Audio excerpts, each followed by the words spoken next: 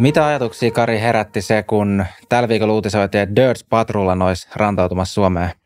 No ihan rehellisesti, niin tuli vähän kusetettu olo.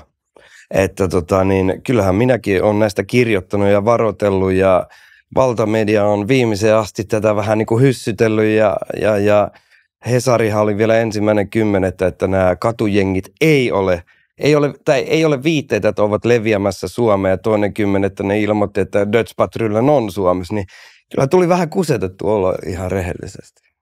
Jep. Sä oot tuolla Ruotsissa toiminut pitkään ensihoitajana, oot nähnytkin tätä Dutch Patrullen aiheuttamaa tuhoa sitä kautta, niin mikä sun käsitys ja tietämys on, että millainen tämä Dutch on? Oli ihan sairasta touhua se on. Että eihän siellä ole minkäännäköistä, tai siis onhan siellä organisaatio taustalla, mutta täytyy muistaa, että nämä suurin osa näistä roadmaneista, jotka LV-lippikset päässä siellä heiluun, niin, tota, niin nehän on pumpattu muiden toimesta täyteen ties mitä päihteitä ja joko uhkailemalla tai jollain muulla tavalla, niin nähän, jotka näitä murhia ja näitä drive-by shoot tekee, niin, niin, niin ne ei ole – sitä missään nimessä sitä ylintä johtoa. Ne on vaan sitä semmoista alaikäistä suorittavaa porrasta, josta kukaan ei välitä yhtään mitään. Jep. Ja me ollaan tosiaan pari jaksoa tehty viime vuoden puolella ja silloinkin vähän puhuttu, puhuttu näistä samoista ongelmista. Ja nyt tämän vuoden puolellahan tämä on, on Ruotsissa kiihtynyt ihan vielä mennyt uuteen sfääriin. Että onko nyt joka päivä käytännössä tulee ampumisia ja kuolee Joo. ihmisiä. Ja tota, mitä, mitä ajatuksia tämä Ruotsin tilanne on vielä herättänyt sinussa? Ja onko, se, onko siinä oikeastaan enää mitään ihmeellistä, kun sen on nähnyt? No sepä justiinsa, että kun siinä ei ole enää mitään ihmeellistä. Että niin kuin, kyllähän se meille suomalaisillekin, jotka on vähänkään ollut hököllä tuon asian suhteen, niin eihän se niin kuin, tiedätkö, samalla tavalla. Sä jopa odotat. Sehän on jo oletusarvo, että, koht, että taas huomenna jotain uutisointia tulee Ruotsista. Tämä on se mun mielestä vakavin, niin kuin mitä mä silloinkin, kun mä olin töissä Ruotsissa, ää, Tukholmassa, ää, niin se, että se on arkipäiväistynyt. Että se, niin kuin, se ei aiheuta enää samanlaisia kuin mitä olisi ehkä 80-luvulla nämä samanlaiset tapahtumat niin aiheuttanut järkytystä niin sanotusti. Niin, nyt tosin vähän on ilmeisesti Ruotsin politiikassa ainakin herätty. Siis no, demarit jopa nyt puhuu siellä, että – täytyisikö maahanmuuttoa kiristää huomattavasti ja niin kuin tämän tyyppisiä. Niin, eihän niillä ollut vasta kuin 50 vuotta aikaa. Niin. Mutta tota, niin joo, siis niin kuin sanot, että nyt, nyt on alettu Ruotsissakin puhumaan asiasta enemmän ja niin kuin sanoit, niin välätelty, että armeija kadulla ja näin. Ja ää, mitä mä oon kollegoiden ja kavereiden kanssa siellä, jotka on Ruotsissa niin jutellut, niin kyllä niin kuin kansa on, tai ainakin mun kaverit, on sitä mieltä, että ei, ei ole enää mitään muuta vaihtoehtoa. Että ky- kyllä niin kuin ne, he haluaa, mutta ei, ei tietenkään kaikki, ainahan vastustusta siitä myös. Onko se... Mutta äh, haluan vielä vähän palata niin, äh, takaisin, kun kysyt, että niin kuin, äh, miltä tämä vaikuttaa. Niin tässä on niin kuin, niin kuin mun mielestä, niin tässä on vaarallista tosiaan se, että kun mietitään näitä Dutch että niin niitä on pelkästään, tai siis näitä katujengiläisiä, ei pelkästään Patrollia, mutta yhteensä näitä katujengiläisiä 30 000 Ruotsissa. Ja armeijan vahvuus on 29 000. Niin tämä on, niin kuin, tämä aivan järjetön juttu. Ja sitten kun sä kysyt, että mitä, mis, miltä musta, mitä mä ajattelen tästä, niin jos mietitään tämmöistä vanhan, niin sanotusti vanhan aikaista launausmerkeissä, pohjoismaista riko, järjestäytynyttä rikollisuutta, niin puhutaan silloin näistä MC-kerhoista. Ja tässä todennäköisesti tulee käymään Suomessa ihan samalla tavalla kuin Ruotsissa, että ne ajetaan yli. Ja silloin, ja en, en puolustele kenenkään ri, äh, rikolli, harjoittamaan rikollisuutta, en edes näitä MC-kerhoja. Mutta että kyllähän he periaatteessa su, melkein näihin päiviin asti, okei nyt se UB lakkautettiin tai niin kuin kiellettiin liivien tunnuksien käyttöä ja näin. Ja tämä on ongelma. Näillä katujengillä ei ole varsinaisia tunnuksia. Niin Suomen lainsäädäntö täytyy jollain tavalla niin kuin muuttua, että me saadaan näitä pose, niin kuin, tiedät sä, kovennettua näitä rangaistuksia, kun tämä järjestäytynyt rikollisuushan on yksi niin kuin koventamisperuste. Ja siihen on Suomessa perinteisesti liittynyt tosi paljon nämä jengitunnukset. Jep. Ja näille jätkille ei ole mitään muuta tunnusta kuin se saatana LV-lippis. Niin tätä, tätä täytyy muuttaa. Ja sitten se riski on, kun mä sanoin, että niitä on 30 000. Suomessa mak- huumeet maksaa kolme kertaa enemmän tällä hetkellä vielä kuin Ruotsissa. Niin miksi vitus ne ei oikeasti tulisi tänne, kun ne tienaa kolme kertaa enemmän? Totta kai ne on tulossa tänne. Ja tulee, ne tulee ottamaan väkivaltaisesti niin kuin vallan sieltä jakeluportaasta, ei niinkään tästä kattoiminnasta. No, mitä, en tiedä, mä en ole niin syvällä missään rosvomaailmassa, mutta voisin kuvitella, että perinteisesti Suomessa on MC-kerhoilla ollut vähän käsissä se jakeluleveli. Ja kun ne on, no eihän ne MC-kerhoja, en mä tiedä, mutta et onko niitä jäseniä kuin paljon Suomessa. Ja sitten kun sieltä alkaa tulla näitä 15-vuotiaita aivan sekopäisiä, jotka on pumpattu täyteen kaikkia satana aineita, ja ne vetänyt as- konetuliaseet, tiedät näin traape, niin kuka siinä nämä perinteisetkään Suomessa enää voi? Että siinä tulee käymään sama kuin Ruotsissa, että esimerkiksi helvetin enkelit, niin en mä, kukaan niitä enää edes näe Ruotsissa. Kuka ei edes tiedä, missä ne on. Ne on todennäköisesti siirtynyt Raksalle töihin. Hyvä heille. Mutta ymmärrätkö, sitten tämä niinku rikollisuus alkaa, sit kun se tapahtuu täällä, niin se on samalla kuin Ruotsissa tällä hetkellä. Niin siis Ruotsissa nämä moottoripyöräkerhot on hävinnyt käytännössä? niin, no ainakin niinku hyvin, hyvin tota niin, niin kuin matalalla kynnyksellä näkyvät yhtään missään. Ja kyllä siitä kaikki puhuu, että nämä jengit, nämä uudet jengit, niin ne on ottanut vallan kaikesta. Et mä, et, en tiedä, onko se sitten hyvä vaan. No, mä, mä, muistan viime vuonna niin kuin et välttämättä ihan jaksossa sanonut, mutta ainakin si, siinä sanoit mulle sitten sen jälkeen, että, että Ruotsissahan on kohta niin sisällissota. Yeah. Niin sitten nyt kun tuli tämä, että puolustusvoimat menee ihan kadulle, mm. ja sitten just sanoit on, että näitä jengiläisiä on se sama verran vähän enemmänkin. Yeah. Niin loppupeleissä, onko se, kuin, tai no mikä on sisä, sisällissodan määritelmä, mutta jos sulla on puolustusvoimat kadulla, sitten sulla on semmoisia ryhmittymiä tai kontrolloida kukaan siellä kaduilla, Joo, mä, mä oon ennenkin sanonut, kun puhutaan näistä sodan määritelmistä, niin ö, sodan määritelmiä Wikipediasta kun katsoo, niin ö, aseet, järjestäytynyt ja yhteneväinen univormu. Niin si, meillä on jo sodan määritelmät Tukholmassa. Tästä on puhuttu, tuk, puhunut tukholmalaiset kirurgit, että, ja tukholmalaiset kirurgit on kovaa huuto nykyään maailmalla. Ne käy Jenkeissä kouluttamassa lääkäreitä näissä just räjähde- ja ampumatraumoissa, koska niillä alkaa Tukholmassa olla niin helvetisti sitä kokemusta näistä. Että ne alkaa olla niin kuin jo niin kuin paljon ammattilaisempia hoitamaan niitä asioita kuin monessa muussa maassa. Kuka olisi uskonut 80-luvulla Ruotsissa? Näinpä. Mutta äh, jos meillä täyttyy, tai kuten siellä Tukholmassa jo täyttyy ne sodan määritelmät, niin, ja nyt jos tulee armeijakadulle, niin kyllä, meillä on virallisesti sisällissota. Tai siis se ruotsalaisilla. Jep, jep. Ja saa nähdä nyt, että oli vähän, että pyydetäänkö Suomenkin poliisi sinä avuksi tai jopa Suomesta jotain puolustusvoimien poliisi jotain yksiköä. Joo, Just Ruotsille ei sitä omaa miesvahvuutta ole siellä niin paljon. Niin. No ensinnäkin meillä ei ole Suomessakaan poliiseja ja sitten mä vähän tuntuu, että se vanha siirtomaageeni, siirtomaageeni, geenit on nostaa pintaansa siellä, että pitäisi taas mennä pelastaa ruotsalaiset heidän puolestaan. Jep. Miten sulla meni? Sä tosiaan oot siellä ensihoitajana työskennellyt pitkään Ruotsissa, mutta et enää, lopetit joku aika sitten, niin oliks, tai niin, mikä oli lopettamisen syy? Ää, no kyllä se, se, se on muutama syy. Se oli toi tilanne, että se vaan pahenee, pahenee, pahenee.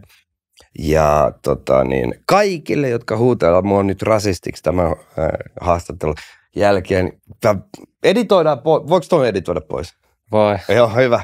E-, editoida pois. En mä halua tehdä tästä mitään. No niin, eli se kysymys oli? Niin, että lopetit Ruotsissa duunit, niin mikä oli syynä siihen? Niin, siihen on monta syytä, tai muutama syy, että yksi on, yksi on alkaa ihan rehellisesti ikä, 42 täytiin justiinsa, ja ne yövalvomiset alkaa, niin kuin, ne jättää jälkeensä kroppaan. Ja sitten se ei ollut enää, niin kuin mä oon ennen tuonut esille, että tienasin siellä paljon enemmän, mutta se ei ollut enää se raha Se pahenee, pahenee, pahenee se tilanne, niin ei, en mä näe, että se ei ole enää sen arvosta. Mä saan nuoret mun puolesta. Nuoremmat ajaa niitä keikkoja, jotka vielä jaksaa. Riittääkö siellä hoitajia, että sun kirjoissakin, joita on kaksi ilmestynyt, niin tulee se esiin, että siellä vaikka tosiaan maksetaan liksaa, mutta sitten taas työolot ja tämän tyyppiset ei välttämättä ole edes Suomen tasolla lähelläkään, niin mikä siellä on hoitajien tilanne? Öö, no sen takia siellä maksetaan, että joo, mulla oli se vi- Tukholmassa 5,1 tonnia niin kuin peruspalkka. Siihen lisätään, mulla jäi noin 4,5 tonnia järjestään kuukausittain siellä käteen. Öö, sen takia ne palkat on tuommoiset, koska siinä ei riitä väkeä. Ambulanssi, duuni, ensihoitajan duuni ambulanssissa Ruotsissa ei ole kovinkaan suosittu duunipaikka, koska jengi tietää Ruotsista aivan yhtä helvettiä niin sinne ei haeta töihin. Että sitten ne ensihoitajat joko sitten mieluummin hakee vaikka päivystykseen duuniin niin kuin use, useasti. Ää, siellä on toi rahoitussysteemi on Ruotsissa kapitalistisemmin järjestetty, että sitten kun on pulaa, niin sitten jos on niin kysynnän tarjonnan laki, että liksat nousee sitä mukaan, mitä kovempi pula. Ää, mutta niin kuin mä sanoin, että mä, mä koin, että mä, se ei enää korvaa mun mielestä niin kuin sitä stressin määrää. Äh, mikä se oli se kysymys? Että on, onko niistä pulaa? Niin, voisi jatkaa siitä, että onko, mi, miten sä näet sen tilanteen, että kun sä lähit, niin millaiseksi se jäi, että kun jos puhutaan tästä jengiytymisilmiöstä ja muuta, niin totta kai sitten ihan seuraavat askeleet, jotka olisi tosi tavallaan huono suuntaan jo, että jos ei enää oikeasti saada vaikka hoitajia töihin ja sitten ei saakaan sitä lanssia enää ja kohta alkaa mennä tuommoiselle tasolle meininkin, niin mitä sä näet se? Sehän tulee menee vielä pahemmaksi ja se äh, ihan tässä tämän kuukauden aikana se tulee äh, kriisiytymään koko Ruotsin pelastustoiminta, palopuoli sekä ensihoito. Ja ei johdu vain äh, tästä jengiongelmasta, vaan Ruotsissa äh, muuttuu nämä työaikasysteemit nyt EUn mukaisiksi, eli Ruotsissa kielletään 24 tunnin työvuorot, myös palopuolet, mikä Suomessa edelleen poikkeusluvalla, että tehdään näitä vuorokausitöitä ja kolme vapaata. No jengi on nyt se ymmärret, ymmärrettävästi myös palopuoli on ottanut ihan siitä tosi paljon itsensä ja ää, nyt se tulee se laki voimaan 31.10. Niin ää, siellä on järkyttävä pula nyt. Ihmiset irtisanoutuu ambulanssista ää, kilpaa.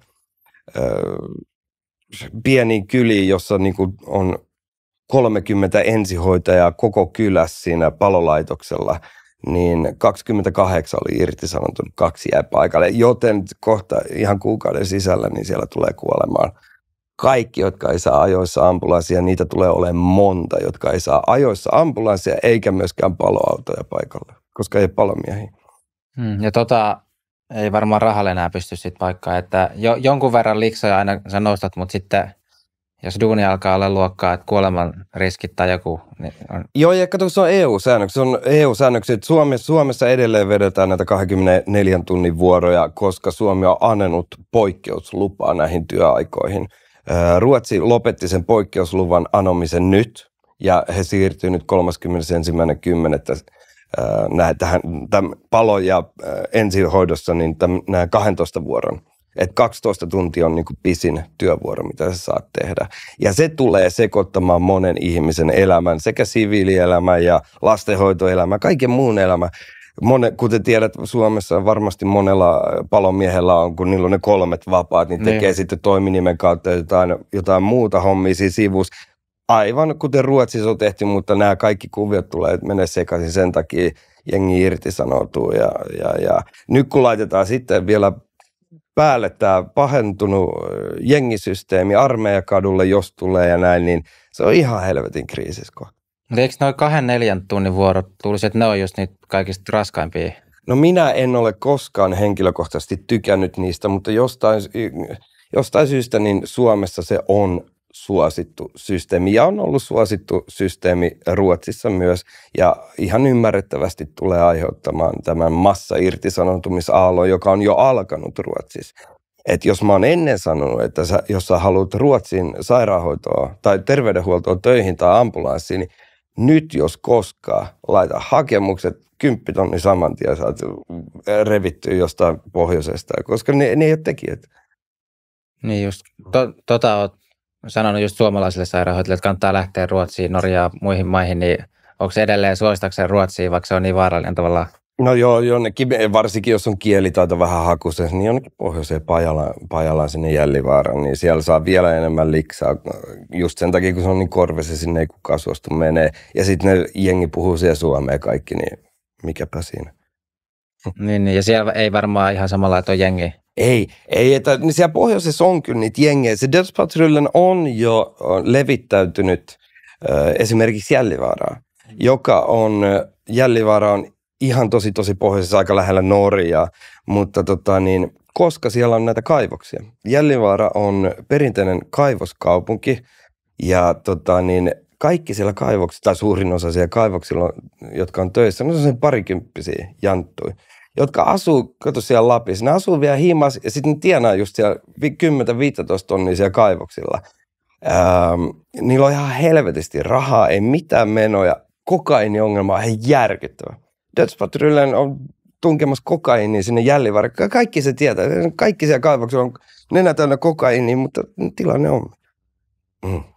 Jep, jep. No, sen perusteella, mitä olet näitä, tai hoito, hoitotyön, ensihoitajan työn kautta tullut tietenkin kokemusta ja nähnyt näitä potilaita, niin kuinka isossa osassa sanot, että just huumeet on sitten tätä jengirikollisuutta Ruotsissa ollut? Onko se niin kuin aina käytännössä jotenkin huumeliitännäinen vai no liittyykö muutakin? No en mä paljon valehtele, että jos mä sanon, että 98 prosenttisesti ne liittyy huumeeseen. Eihän niiden jätkien tai potilaiden tarvi aina olla niin kuin päätänä huumeita, kun ne mun, mun potilaiksi ammuttuna päätyy. Mutta tota, niin, ainahan siellä huumeet, huumebisnes on jossain siellä taustalla. Että rahahan se on, mikä jellaa niissä, ei siellä mikään muu niin kuin, ole tärkeää kuin se raha. Ja se on siellä kaiken taustalla ja huumeista saatava raha.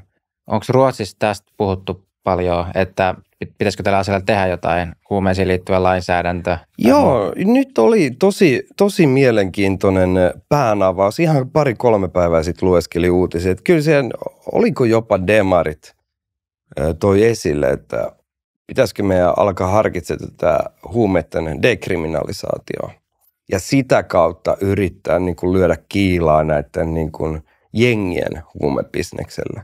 Että jos valtio alkaisikin myymään niitä, ja systembolaget, eli paikallinen alkoholi myös mainittu, niin kyllä se mun mielestä melkein, kun Ruotsissa on nyt silitelty kaikkien päätä se 50-30 vuotta, niin joku, joku Nerohan joskus totesi, että se on aika hullu odottaa erilaista lopputulosta toistamalla aina samaa. Että niin kuin sen takia mun mielestä on tervettä niin kuin ainakin ottaa keskusteluun erilaisia vaihtoehtoja.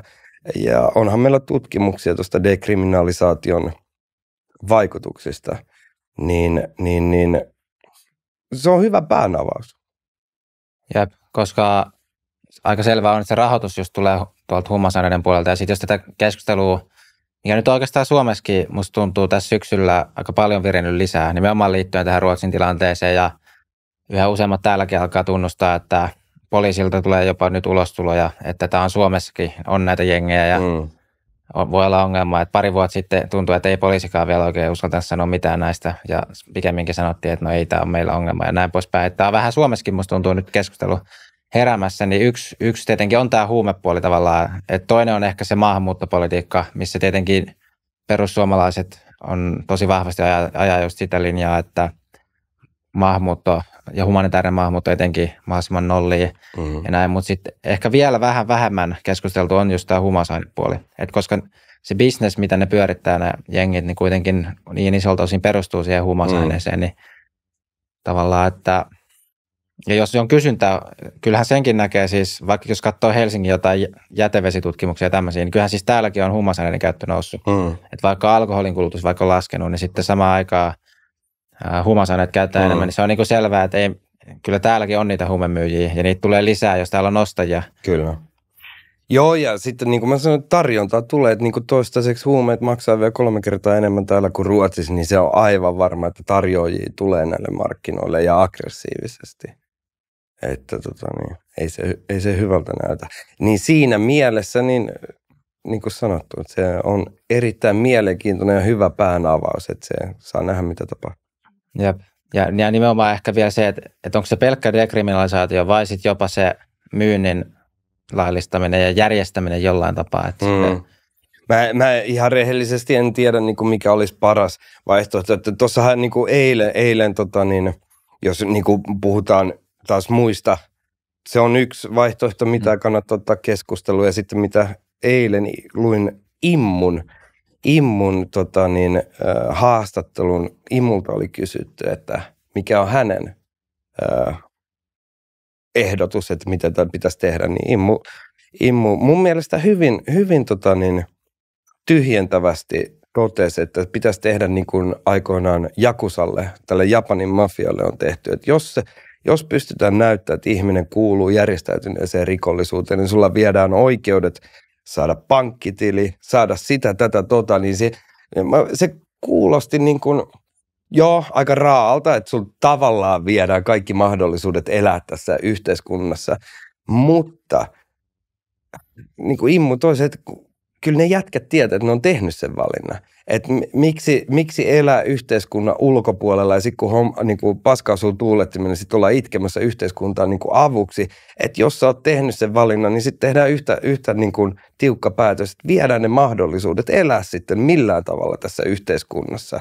Niin silloin se saattaisi ehkä niin kuin ihmiset punnita niin kuin tarkemmin, että – en mä tiedä, niin. en mä tiedä, mutta niin kuin, nämä, on, nämä on todella hyviä ja mielenkiintoisia kaikki päänavaukset. Niin kuin sanoit, että niin kuin me ei voida jatkaa enää tätä hyssyttelyä ja niin kuin sanoit, että nyt keskustelukulttuuri on muuttunut, niin olihan se melkein mediassakin niin kuin se ero kuin yöllä ja päivällä, kun meillä vaihtui hallitus ja päästiin tämän kesän, niin kuin, tämän kesän tämän pesukarhuongelman ongelman niin. ohi, niin sen niin kuin, kuin taikaiskusta yhdessä yössä, niin mediakin alkoi sen jälkeen kirjoittaa näistä ihan eri lailla.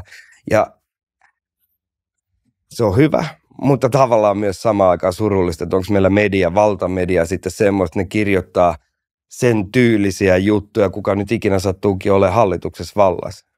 Et se, mä oon ollut todella, todella pettynyt tähän suomalaiseen mediaan. Et jos, jos on suomalaisen median niin kuin, varassa, mitä on tapahtunut Ruotsissa, niin sulla ei ole mitään käsitystä. Niin just, mm. niin just. Joo, tuossa tietenkin toi kieltä, tai siis, että jos on jengissä, niin sitten viedään kaikki oikeuden. Siinä on tietenkin se haaste just, että sit jos ei ole samalla kuin niissä MC-kerhoissa niin mm. niitä vakiintuneita tunnuksia tai muita, mistä tunnistaa selvästi. Just. Se on tietenkin haaste, että Kyllä. miten sä tunnistat ne ihmiset ja kuinka järjestäytynyt Mustat vaatteet, LV-lippis ja sitten se helvetin, mikä se miesten olkalaukku, niin siinä on mun mielestä Roadmanin tunnukset. Niin, no joo, kyllä, kyllä, kyllä. Mutta sitten samaan aikaan ei voi myöskään tule mitään no et, etnistä profilointia tai joo, siis tollaista, että siinä on, siinäkin on vaaransa, että sitten menee liian, liiallisuuksiin. Kyllä. On, on. Siinä, on. siinä on totta kai vaara, että viedään niin kuin, äh, näitä perusoikeuksia liiaksi ja näin poispäin. Mutta sitten oikeasti, se, ihan rehellisesti, niin kuin cut the crap shit. Niin kuin, jos mä kävelen, kun mä lähden täältä studiosta, nyt kun mä lähden täältä, ja mä kävelen tuohon pihalle tuohon triplaan ja mä ammun jonkun, niin sitten mä avan, alan sitten oikeudessa itkemään some, ja somessa, että on rankka lapsuus, sitä, tätä, tota. Ketään vittu kiinnostaa mun ihmisoikeudet siinä vaiheessa? Kyllä mut on laittamassa linnaa ihan sama. Ja hyvä niin. Niin se pitää ollakin. Ei, ei tuolla ole kukaan lähettämässä sosiaali-ihmisiä keskustelemaan mun kanssa. Koska se, niin kuin, mitä helvetin hyötyä siitä on? Keskustella, no sä ammut tuon jätkä just tuon, jutella sun trauma. Ei se, ei helvetti, ei, niin kuin, joo, se on, ajatellaan näin. Siis sä, tiedätkö, tämä, tämä tämmöinen että keskustellaan ja sosiaalityö, totta helvetissä ne on tärkeää, totta kai. Varsinkin nuorempien rikollisten kanssa. Totta kai pitää yrittää näitä pehmeitä keinoja myös. Ja se on hirveän jaloa ajatella, että kun me vaan niin kuin kuunnellaan ja silitellään päätä ja laitetaan kaikki niin kuin hommat kuntoon, että niin kuin nekin, se on hirveän jalo ajatus, mutta hirveän naivi ajatus. Et kun jotenkin tuntuu, että niin kuin somessa tai jossain näissä keskustelussa ei tajuta, että ne on HC-rikollisia. Ne jätkät vetää tuolla automaattiaseiden kanssa ja ne, niillä on kyseessä satoja tuhansia euroja. Jos et sä ammu, kun niin kuin sulle on tehty, niin sut ammutaan. Tai sun, niin kuin nyt on äidit ja omaiset siellä alettu ampumaan. Niin mitä siinä hyödyttää niin kuin keskustella sen kaverin kanssa, kun sillä on stressit, jos mä hoidan tätä hommaa, niin mun mutsi tapetaan. Niin, niin kuin nämä on niin kuin aivan eri leveleillä. Ja sitten niin kuin ajatellaan tämä, että rakastetaan maailma öö, terveeksi. Se on hirveän hieno ajatus, mutta kun ne, jotka tulee ne ei ajattele niin. Tämä on se ongelma. Tai siis jotka, ja, ei, ei a, nyt, anteeksi, nyt mä sanon väärin, että ne, jotka tulee tänne, nyt mä sanon väärin. Siis ne, jotka on sisällä siinä rikolliselämässä, tarkoitan. Niin kuin, joo, sorry, mä sanoin ihan väärin, mutta ei Joo, tota, ei mitään. joo. Mutta joo, tuossa on tietenkin se, että Ruotsissa on just tuo tilanne, mutta et Suomessa onneksi täällä on vielä pienemmässä Joo, joo. skaalassa niin sitten täällä ehkä, tai miten sä näet, ihan nyt vaikka et ole ehkä tämän alan asiantuntija, mutta mikä sun näkemys on siitä siis, että just puhutaan just lapsista ja nuorista, Mm. niin miten niitä voisi ennaltaehkäistä? Että onko vaikka koulutusjärjestelmässä tämän tyylisissä, että totta kai mä ymmärrän, että jos sä oot se konepistolilampu ja sä oot Mm. siellä jengissä, niin siinä vaiheessa ehkä se sosiaalityö tai muu ei sua enää pelasta, mutta miten me luota se semmoinen ympäristö, että täällä ei kehity, pääsisi kehittymään niin pitkälle? Mä luin äh, eilen vai toissapäivänä jonkun vasemmisto, äh, vihervasemmiston, sieltä vasemmalta Mm. mm. laidalta jonkun poliitikon, että äh, niin kuin pitää, että Ruotsi on itse aiheuttanut tämän, koska ne on näiltä äh, maahanmuuttaja-alueelta poistanut tämmöisiä niin kuin pankkeja ja kol- että ne pitää saada takaisin, jotta ihmiset niin kuin kokee tyytyvä, niin kuin helppoa elämää tai jotain. Mä ajattelin, tämä on aivan saatana vittu väärin. Niin me, Ruotsi on ö, luonut ne rinnakkaisyhteiskunnat, että siitä sun omalta alueelta, kun löytyy kaikki saatanan palvelut, niin sun ei sieltä tarvi lähteä sinne kantaväestön ö, joukkoon. Mm.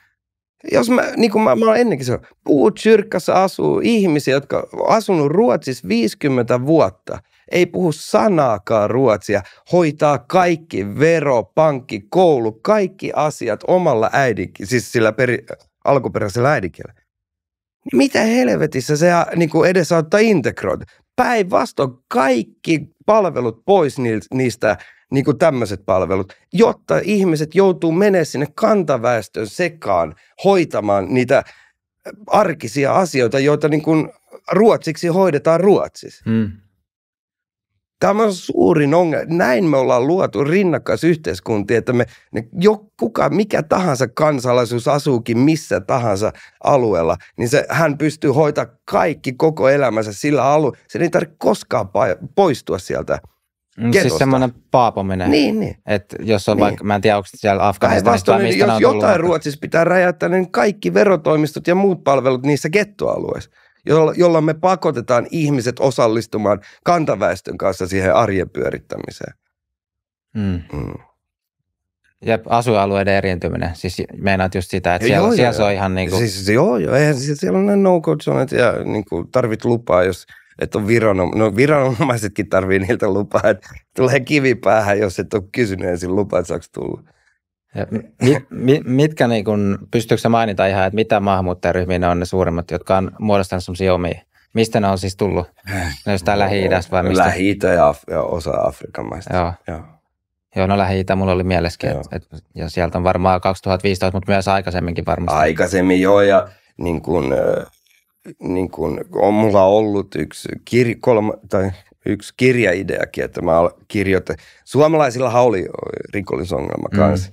Ja sitten 70-luvulla, kun alkoi Syrjoone esimerkiksi syyrialaisia tulee enemmän ja sitten varsinkin 90-luvulla, niin nämä suomalaiset ja syrjoonit siellä varsinkin Södertelissä vähän törmäs alamaailmaa ja tuli vähän välien selvittelyyn, niin on jopa miettinyt kirjoittaa siitä, että istuttaisiin niitä kundeja alas ja kertokaa mitä on tapahtunut. Ja kirjoittaa. Mutta tota niin, sehän alkoi silloin 70-luvulla, sitten 90-luvulla niitä alkoi tulla enemmän ja enemmän. Ja nyt silloin viimeksi, silloin 15, niin sehän Mm. räjähti ihan kunnolla käsiin. Ja sitten mulla tuli mieleen siis tämä Ruotsin NATO-taivaalla, niin siinäkin on ollut tämä, että tämä Turkki on näitä kurdi, että Ruotsi ei jotain, niin kuin liik- tähän kurdeihin kuitenkin liittyvää, mä nyt en muista ihan Joo. kuinka se meni. joo. Mutta siis siinäkin vaan kävi vaan mielessä, mä muistan ajatus, että onko Ruotsissa jo, jo tämmöisiä no, vallankäyttäjiä siis siinä, että kun siellä on niin isoja näitä ryhmiä, että onko sitten kurdiryhmätkin on niin isoja Ruotsissa, että niillä on jo jotain, tom, vaikuttaa tommosiakin asioihin. Ää, niin kuin meinaat vähän niin kuin, että ni- niin kuin mafiatyyppistä sananvaltaa olisi Niin näillä. sananvaltaa ja sitä, että kun eikö siellä ole nyt, että siellä on joku kurdi on täällä Ruotsin parlamentissa vai? Mä, mä, mulla on pakko No, mutta joka, joka, joka tapauksessa siis se idea vaan, että ne, niillä on jo niin iso se ryhmä, mm. että ne pystyy, ja sitten siellä on näitä Koranin polttajia Joo. ja muita, Joo. ja siis tämän tyylisiä. Ne pystyy tavallaan provo, provosoimalla ja tekemällä tuommoisia tahallisiakin temppuja. Sitten vaikuttaa jopa tämmöiseen ihan kansainvälisen politiikan. Joo, joo, Temppuihin joo. Ja ja sitten tuohan on mielenkiintoinen tuo NATO-homma sikäli, että niin kuin, kun puhutaan Ruotsia NATO, että eh, nehän ei tykännyt silloin, kun Suomi, Suomi liittyi NATOon. Että nehän oli heti, että saatana suomalaiset. Nyt meidänkin on pakko. No mitä jos vielä Ruotsia miettii, niin näetkö sä, että siellä on ratkaisu enää tähän ongelmaan luvassa? Tai mikä se ratkaisukeinot on? Että siellä nyt varmaan maahanmuuton rajoittaminen ei enää riitä mihinkään. Että kun Mm. tosiaan on näitä kymmeniä tuhansia ihmisiä näissä jengeissä, niin liittyykö se just tähän huumeiden dekriminalisaatioon vai onko muita keinoja, mitä sä näet niin Ruotsin tilanteen suhteen? No se, se on niin kuin se dekriminalisaatio, se on yksi keskustelu, mutta jotenkin tuntuu, että se on niin kuin shirt. Että se on, ei, ei tota enää mikään. Jotenkin, en mä tiedä. No armeija kadulle ja mitä niitä pitää te- lahtaa niin kuin niskalaukauksia. Ei, ei sitäkään oikein voi, niin en mä tiedä. Niin, niin kuin sanottu, että niitä, pelkästään niitä jengiläisiä on 30 000. Eikä ne ole mitään ensimmäinen, tai juuri maahan tulleet. Ne on toisen ja kolmannen äh, Mm. polven maahanmuuttajia. Sitten no, siellä on jo vahvoja tämmöisiä etnisiä mafioita, niin kuin, että niin kuin on niin isoja ryhmittymiä, että niin kuin on, on asuinalueita, jossa on vaikka, nyt esimerkiksi vaikka niitä turkkilaisia. Niin. En nyt syytä turkkilaisia tässä tapauksessa, mutta esimerkiksi. Niin niitä on niin paljon jo niiden niinku jengillä, pelkästään niiden jengiläisten sukulaisia, jotka ei ole itse jengissä. Että sitä populaa on niin paljon, että ne pystyy niinku pienissäkin kunnissa niin kuin, äh, tiedätkö, styyraa vähän sitä päätöksentekoa ja niin kuin estämään asioita, niin jos tämmöinen on, tämmöistä on päästetty kehittymään ja koko aika syntyy lisää niin kuin ihmisiä siihen atmosfääriin, että me ollaan meitä ja nuo ruotsalaiset on noita, Mm. niin, niin, niin miten, miten hitossa, en mä tiedä, en mä tiedä. A, Suomen osalta mun mielestä pelastus on se, että sitä ei missään nimessä saa päästä tähän tila näin pitkälle. Koska näin pitkällä, niin jotenkin tuntuu, että se Ruotsi on jo shirt. Se on, Liittyykö Ruotsissa islami tähän sun mielestä? Tai sun kokemusten pohjalta, että on- onko siinä uskonto mukana vai onko se sitten ihan uskonnosta riippumatonta? Ää, eihän niin kuin huumebisneksessä, eihän ketään kiinnosta niin kuin siellä kenenkään uskolla. Jotenkin tämä kaikki Koranipolttaminen, mitä nyt on ollut Ruotsissa mm. Lähiaikoina ja näin, niin jotenkin tuntuu, että tämä uskonto, islam, muslim, kristinusko, Korani poltetaan ja näin, niin jotenkin tuntuu, että se, se on vähän niin kuin sirkushuvia kansalle. Että niin kuin sillä saadaan provosoitua ja niin kuin ja otsikoita ja näin, ja sitten siellä taustalla niin kuin se huumebisnes, niin en mä varmaan paljon valehtele, jos mä sanon, että ketään ei niissä, niissä piireissä kiinnosta sitten loppupeleissä, niin. Kuka uskoo mihinkin. Et se on, se on niinku se raha sitten. Mutta nämä kaikki koranipolttamiset ja tämmöiset, niin jotenkin tuntuu, että on vähän niin kuin provokaatiota, sirkushuvia kansalle ja jne.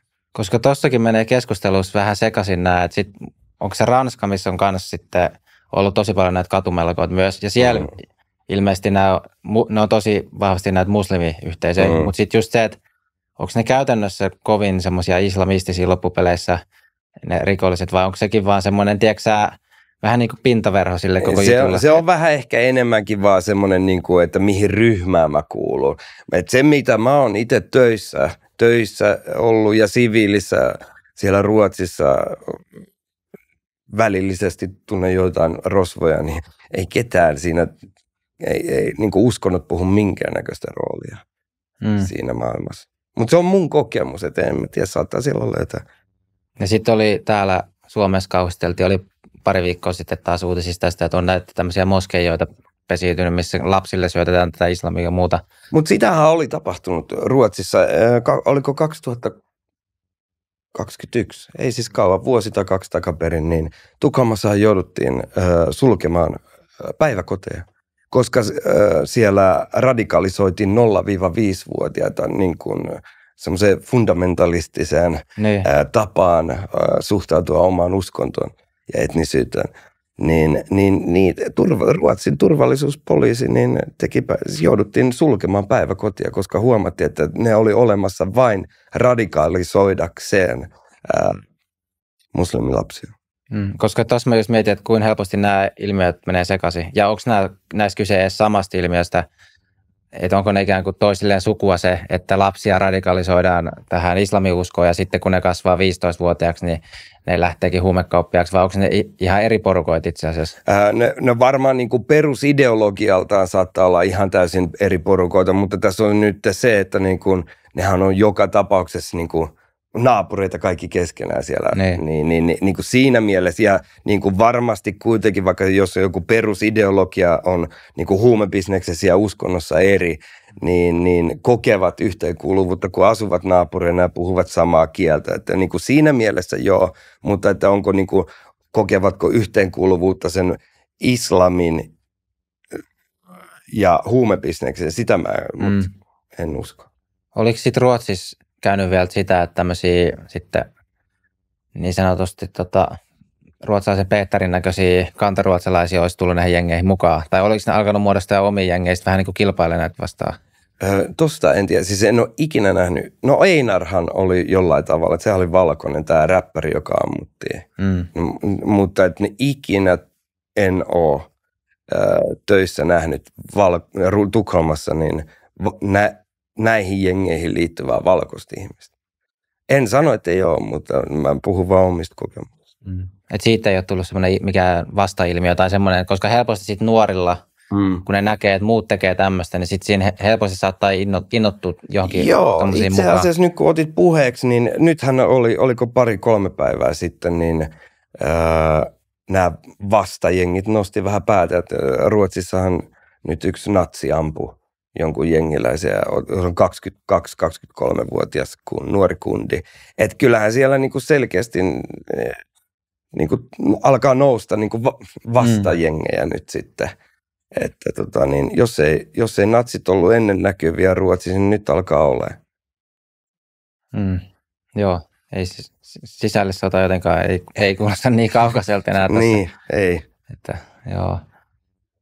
Joo. Mikäs, se oli Dirt Patrollan, sitten oli se toinen Shottas. Shottas joo. Ja sitten on Foxtrot, on kanssa yksi semmoinen iso, iso jengi. Sitten oli vielä yksi, joku neljäs, mä en nyt muista, mutta että niinku, äh, sieltä Tukholmasta lähtöisin ja syn, Tukholmassa syntyneistä, niin on äh, tämä Dödspatrullen ja Shottas.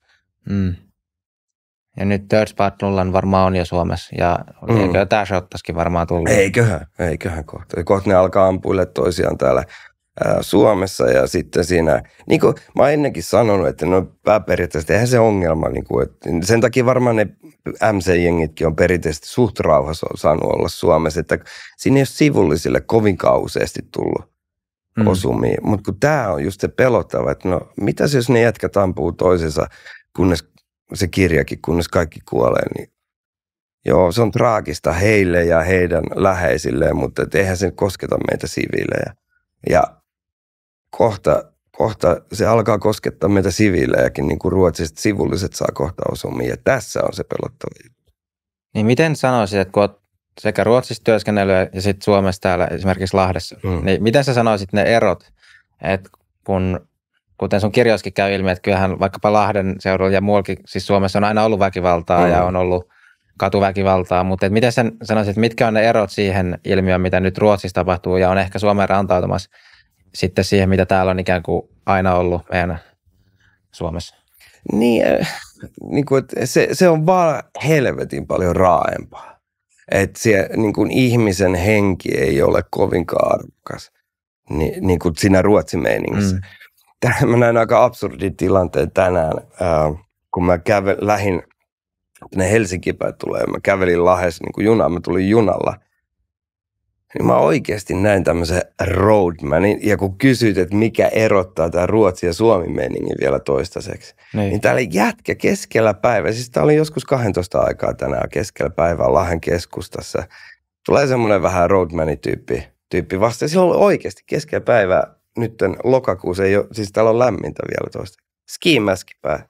Käve ja kaivo roskiksi, niin mä ajattelin, että tässä on vielä, että onneksi tämä meidän roadman-kulttuuri on vielä, niin kuin, vielä vasta tässä tilanteessa. Että joo, niillä on jo nämä ninjapipot päässä keskellä päivää, mutta ne toistaiseksi vielä, nämä, ainakin nämä suomalaiset roadmanit näytti keskittyvän roskiksien kaiveluun, mutta että niin kuin, ei, ei siinä kauan Siis onko nämä jotain jengitunnuksia? Nämä? En minä tiedä, en mä, mä tiedä, se vaan halusi mutta että kovasti oli Roadmanin näköinen ja siinä niin kuin tälle, vähän niin kuin Roadmanisti siellä toimia näin, mutta että niin kuin sit se oli enemmänkin säälittävä ja hyvä niin. Ja, niin se on vielä se ero, että tämä aika niin kuin suomalaisten Roadmanien menikin on suhteellisen säälittävää se toiminta vielä toistaiseksi, mutta ei siinä kauan mene, että jos sen annetaan mennä eteenpäin, että se on, alkaa niin kuin luodit oikeasti osua täälläkin sivulla. Mm. Uskotko että tätä pystyy maahanmuuttopolitiikalla estämään? Että sanotaan, No nythän tämä nykyinen hallitus jonkun verran sitä tiukentaa, mutta ei se nolliin mene. Toistaiseksi pystyy vielä, mutta se vaatii todella nopeita ja järeitä toimenpiteitä. Esimerkiksi tämä, mikä nyt kun poliisi sai nämä Dödspatrullen jutut hommat kiinni, niin kyllähän oikeasti suomalainen, tämän myöntää Rosvotkin, niin suomalainen poliisi on erittäin tehokas ja hyvä niin. Mutta niin kuin nyt ei, ei, niin kuin, ei saisi ihmisetkään niin kuin tuudittautua, että kyllä Suomen poliisi hoitaa kaikki. Että kyllä täytyy tehdä myös, niin kuin, no nythän sisäministeri tai niin kuin poliisi on saamassa lisää rahoituksia Suomessa ja on tulos tiukennuksia näihin äh, maahanmuuttolakeihin ja näin poispäin ja rikos, tai näihin äh, koventamisiin, rikoksen koventamisiin ja näin. Mutta tota niin, kun nämä on vähän semmoisia juttuja just tällä hetkellä, että ihan kovin montaa mööttä ei kannata pitää ennen kuin näitä muutoksia aletaan tekemään. Että tämä perinteinen suomalainen minuutti, kaksi kuukautta, niin se, se on vähän nyt, ei ole toimi, että pitäisi oikeasti alkaa toimia. Onko sinulla jotain vielä, mitä sä kaipaisit, siis tämän, vaikka jos miettii nyt hallitus Suomessa, että mitä ne vielä voisi tehdä enemmän, jotta tätä saataisiin ehkäistyä, ettei tämä Ruotsin ilmiö, Ruotsin tietyys Suomeen, vai onko nämä toimet, mitä nyt aletaan tekemään, niin riittäviä tai oikein suuntaisia sun näkökulmasta? No oikein suuntaisia, onko ne riittäviä, niin sitä, sitä on vielä vähän vaikea arvioida, mutta että kyllä pitäisi tosi aggressiivisesti niin kuin, niin näihin pehmeisiin arvoihin myös keskittyä, että ei päästetä tämmöisiä alueiden eriytymisiä tapahtumaan Suomessa – ja, ja oikeasti se, ne pehmeät arvot, ne pitää olla ne pehmeät arvot käytössä heti niin kuin todella aikaisessa vaiheessa, koska niin kuin, et, jos siellä on joku nuori ajautumassa ö, näihin jengeihin, niin se painostus sieltä jengin puolelta on huomattavasti paljon kovempi kuin tämän sosiaali-ihmisen puolesta. Niin sen takia niin kuin näillä alkaa olla niin kuin mieluummin kiire kuin ei kiire. Mm, Et nu, nuorille se auktoriteetti on tietenkin aina se toinen nuori tai se kova kundi, joka on siellä omassa porukassa. Niin ja sitten niin kuin Ruotsissa, niin kuin, niin kuin mä sanoin jo aikaisemmin, että jos, jos niin kuin toise, to, toinen vaihtoehto on, että sun mutsi ammutaan, tai sitten toinen vaihtoehto, että mä jään vielä tänne niin kuin juomaan kahvin näiden tätien kanssa, niin siis on, ei, tarvi, ei, niin kuin, ei ole vaikea arvata, kumpi vaihtoehto voittaa sen vaaka. Valitettavasti. Jep, jep. Joo, kyllä nyt ta- taisi, onneksi on Suomessakin vähän herännyt tosiaan tämä mm. keskustelu ja, ja ehkä yhä useampi tunnistaa sen ilmiön nyt ja just on poliisikin sanonut ja jopa yleensä sanotaan, että tämä on nyt ongelma, tämä, tämä jengejä on olemassa ja näin poispäin. Niin ehkä sitten, sitten toivottavasti tarkoittaa sitä, että pystytään tehdä myös niitä toimia ja yli puoluerajoja ja yli, mm. yli tämmöistä ideologista jotenkin Kyllä. poteroiden ja ettei sitten tulisi myöskään semmoista jotenkin vasta, pelkästään, että nyt vaan poliittiset ryhmät Joo. keskenään vastakkain asettelee ja jotenkin ei haluta hyväksyä, vaikka että jos toiselta puolelta tulisi hyvä keino, niin sit sitä ei voi ottaa, koska rasismi tai sitten koska joku suvakkimeininki tai jotain. Ei kun nimenomaan, että siis niin kun, on ollut positiivisesti kattonut tuolla sosiaalisessa mediassa, että nyt vasemmisto edustajat ja puolueetkin on alkanut jo, että pitää keskittyä tähän ja nyt laittaa äkkiä hommat kuntoon. No, heillä oli aikaa nyt viimeiset neljä vuotta ja nyt kaikki on persujen syytä joidenkin edustajien mielestä, että pers, tai tämä oikeistopolitiikka niin kuin ää, aiheuttaa tämän jengiongelman Suomessa. Olisivat odottaneet edes vähän aikaa ja sitten ennen kuin alkavat syyttää niin nykyistä hallitusta, niin se olisi ehkä vähän uskottavampaa. Mutta pointti, pointti on se, että niinku tuommoinen syyttely on ihan turhaa nyt. Että se pitäisi niinku oikeasti kaikkien yli puolueen rajojen todeta tämä tilanne ja ilman, että kuka teki mitä, että niinku oikeasti yhteistyössä, niinku, että ei päästetä tätä niinku pahenemaan. Mm.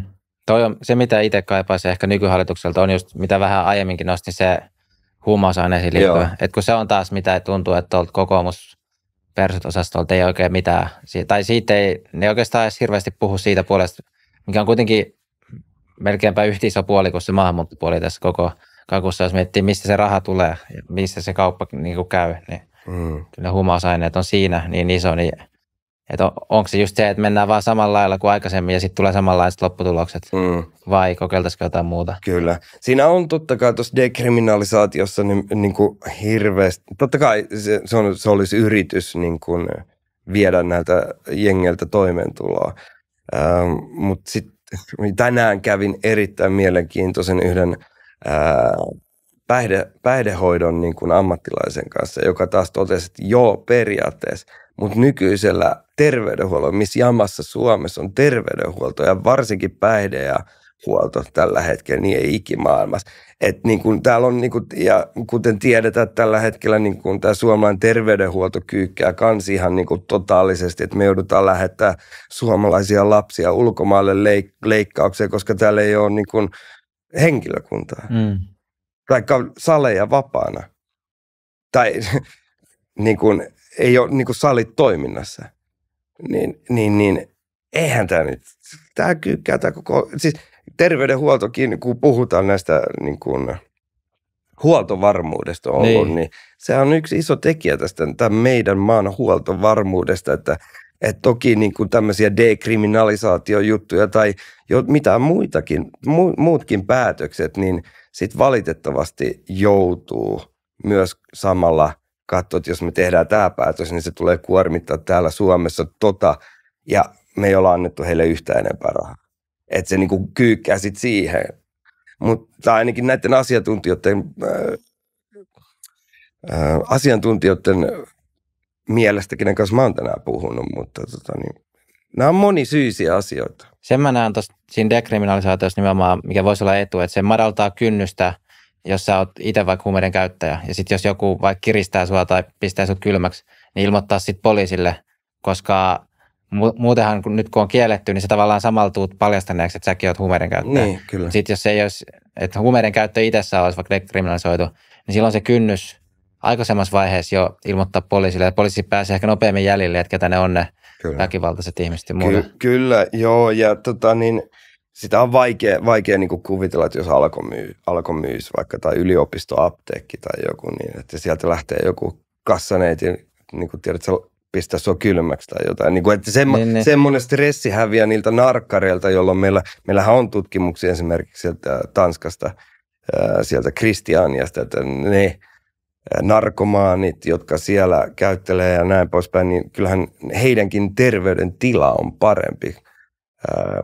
Ja mun mielestä sekin on inhimillistä, että niin kuin narkomaanitkin voi paremmin, vaikka ovat narkomaaneja, niin mi, miksi ei, mutta että niin kuin, ää, en minä tiedä, mä on vaikeita juttuja, mutta ehdottomasti niin ää, mietittävää ja ke, tai tärkeä keskustelua. Ja vois hetken puhua tuosta hoitoalasta vielä sen pohjalta, mitä sulla on omakohtaiskokemusta, kun olet työskennellyt Suomessa, mm. niin mitkä sä näet, että on suurimmat haasteet? Onko se just siellä ihan vaan palkkauksen puolella, että miten me saataisiin Suomessa hoitoala houkuttelevuutta ylös? No on se se palkka, mutta että on, niin kuin, kyllähän mitä mä oon kuullut entisiltä kollegoilta täällä Suomessa, niin se on aivan järkyttävä sirkus. mä, Mulla on pakko sanoa, en, en sano minkä alueen kenttäjohtaja, mutta eräs suomalainen kenttäjohtaja soittiin, eli ensihoidon kenttäjohtaja, on vähän niin kuin ensihoidon esimies. Mm. Niin äh, hänellä ennen näitä hyvinvointia, siis kun meillä on nämä hyvinvointialueet nykyään Suomessa, niin hän oli silloin ennen näitä hyvinvointialueita niin esimiehenä sillä alueella, missä edelleen on. Hänellä oli sijaiset sekä vakituiset työntekijät, niin noin sata ensihoitajaa alaisuudessa ja kaikki hommat hoitaa. Nyt tuli nämä hyvinvointialueet ja tuli, tuli lisää kolmatta kerrosta ja kaikkia systeemit uusiksi. Sanoin, että hänellä on nyt kuusi uutta kollegaa. Nyt siellä on kuusi esimiestä ja näillä hänen uudella, kuudella uudella kollegalla jokaisella on myös assistentti, eli apulaisosastohoitaja siellä. Ja kukaan ei saatana tiedä yhtään, että kuka on vastuussa mistään ja, ja niin kuin, että se on aivan sekaisin. Ja tota, niin, tämä on yksi todella iso kuormittava tekijä tällä hetkellä niin kuin henkilöstölle Suomessa terveydenhuollossa, että niin kuin se, se systeemi on sekaisin ja se vie heiltä myös voimia, että sä et pysty tekemään duunias sillä tasolla, kun sä haluaisit tehdä. Ja se kuormittaa näitä ihmisiä myös. Menee liikaa aikaa johonkin selvittelyyn ja kuka vastaa mistäkin. Ja Ei yksinkertaisesti tiedetään, että kuka on vastuussa mistäkin. Ja sitten, sitten myös äh, suomalainen terveydenhuolto, se on aika byrokraattinen, niin se on raskas järjestelmä.